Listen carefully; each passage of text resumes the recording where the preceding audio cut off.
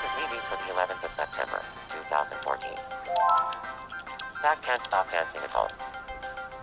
Zack thought that a little dancing might stop him from being so bored. At first he was a little shy and danced quietly. But as the night went on, he became more confident and broke into a dance frenzy. Neighbors have complained about a lot of loud noises and some off-key singing. We asked some islanders for their thoughts on the matter. How is this even in the news? Don't you think it's a miracle? Thanks for watching. For your Mii News for September 11th, this is Masahiro Sakurai, signing off.